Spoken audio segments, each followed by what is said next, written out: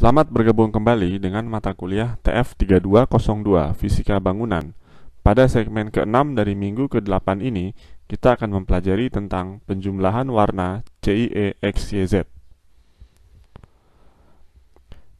Jika terdapat sejumlah N sumber cahaya yang masing-masing memancarkan cahaya dengan tristimulus X1, Y1, Z1, dan seterusnya sampai dengan XN, YN, ZN, maka pada saat seluruh sumber menyala bersamaan, maka akan terjadi penjumlahan warna yang prinsipnya adalah sebagaimana prinsip penjumlahan energi menurut hukum Grassmann.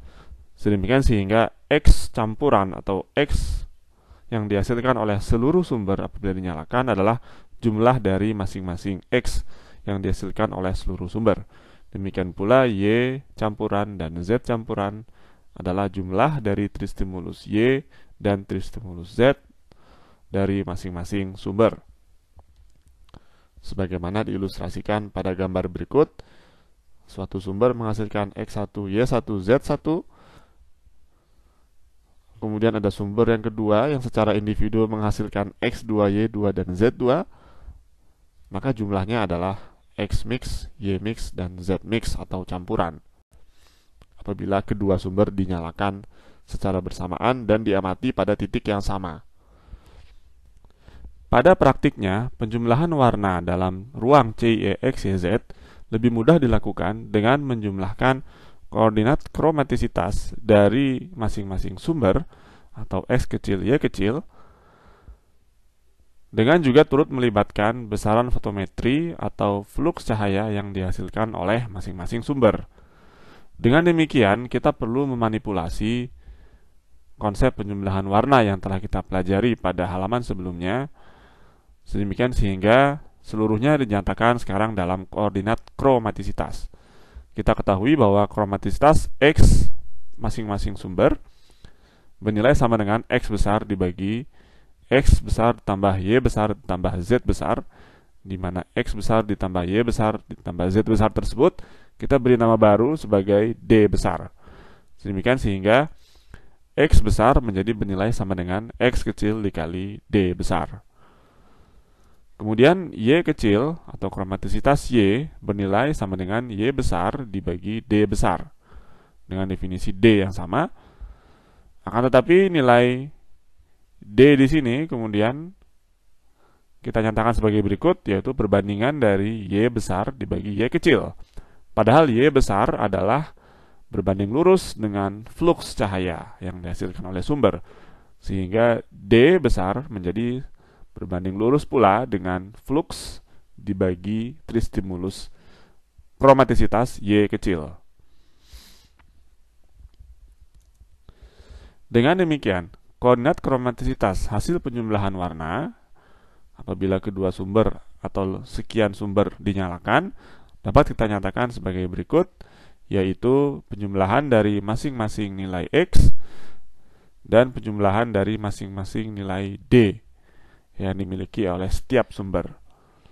Padahal nilai dari X di sini telah kita nyatakan di atas dapat disubstitusi dengan X kecil dikali D kecil. Padahal D kecil juga adalah dapat disubstitusi dengan Y besar dibagi Y kecil. Atau menjadi dengan demikian bagian pembilang dari persamaan ini dapat kita nyatakan sebagai X kecil dikali Y besar dibagi Y kecil. Kemudian bagian penyebutnya dapat kita nyatakan dengan mensubstitusi nilai D besar menjadi Y besar dibagi Y kecil. Padahal Y besar sekali lagi telah kita tunjukkan bahwa nilai Y besar atau tristimulus Y adalah sebanding dengan flux yang dihasilkan oleh sumber. Sehingga dapat kita nyatakan sebagai berikut. Bagian pembilang adalah X kecil dikali flux dibagi dengan Y kecil, sedangkan bagian penyebut adalah flux dibagi dengan Y kecil, yang mana flux ini dapat diukur atau dapat diamati dari spesifikasi sumber, sedangkan X kecil dan Y kecil dapat diukur secara langsung dengan alat spektrokolorimeter. Sehingga nilai dari X campuran dapat kita perkirakan dengan mudah berdasarkan persamaan ini. Dengan cara yang sama, nilai Y campuran dapat kita nyatakan sebagai berikut. Hanya bedanya sekarang bagian bilangnya adalah jumlah dari Y atau tristimulus Y yang mana sudah sebanding dengan flux. Demikian sehingga Y campuran adalah jumlah dari flux yang dihasilkan oleh sumber dibagi dengan jumlah dari flux dibagi dengan Y kecil untuk masing-masing sumber. Sebagai contoh, misalkan terdapat dua buah sumber cahaya berwarna dengan koordinat kromatisitas XY sebagai berikut, serta luminansi dalam domain fotometri sebagai berikut jika diamati dari titik yang sama. Kita diminta untuk menentukan koordinat kromatisitas penjumlahan dari keduanya serta luminansi yang diamati pada titik pengamat jika kedua sumber dinyalakan. Untuk menyelesaikan persoalan tersebut, kita dapat menggunakan persamaan dari halaman sebelumnya untuk mendapatkan nilai X campuran dan Y campuran. Perhatikan bahwa nilai D besar di sini dapat disubstitusi dengan Y besar dibagi Y kecil, di mana Y besar adalah setara dengan besaran fotometri yang dalam hal ini adalah L, karena L juga setara dengan flux cahaya. Jadi kita dapat langsung mensubstitusi nilai L atau luminansi di sini untuk menghitung nilai D1 dan D2. Dengan demikian kita mendapatkan hasil X campuran dan Y campuran adalah sekitar 0,29 dan 0,26 serta L campuran atau penjumlahan dari keduanya adalah langsung dijumlahkan saja antara 10 dan 15 atau menjadi sama dengan 25 kandela per meter persegi. Jika digambarkan secara grafik, Posisi dari X1Y1 pada koordinat kromatisitas XY atau CE1931 ada di posisi ini 0,25 dan 0,45 XY-nya. Kemudian titik 2 atau sumber 2 ada di sini yaitu 0,3 dan 0,2 X, X dan Y kecilnya.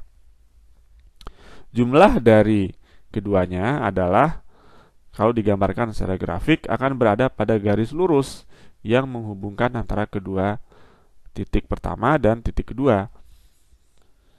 Berapa besar atau berapa tepatnya posisi dari titik campuran antara keduanya tentunya akan ditentukan dari besarnya besaran fotometri atau energi yang dihasilkan oleh masing-masing sumber.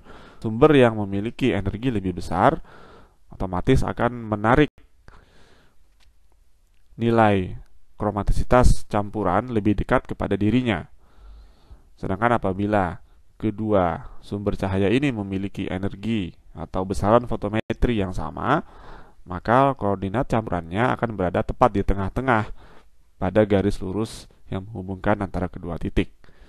Dalam hal ini karena dalam soalan ini karena sumber yang kedua memiliki energi lebih besar, maka koordinat campurannya berada sedikit lebih mendekati titik koordinat yang kedua dibandingkan dengan yang pertama.